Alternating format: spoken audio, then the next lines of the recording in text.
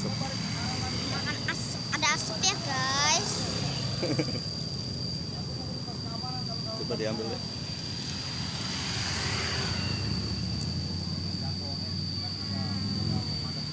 Hmm. Yang olahraga tuh.